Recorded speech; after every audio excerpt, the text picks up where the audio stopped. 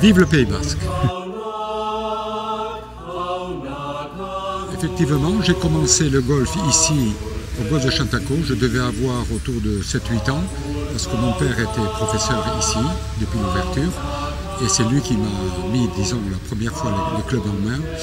Et je ne pensais pas qu'après 40 ans de, de tournois à travers le monde, je terminerai ma carrière de nouveau ici à Chantaco. D'ailleurs, tous ces souvenirs, on les retrouve dans, le livre.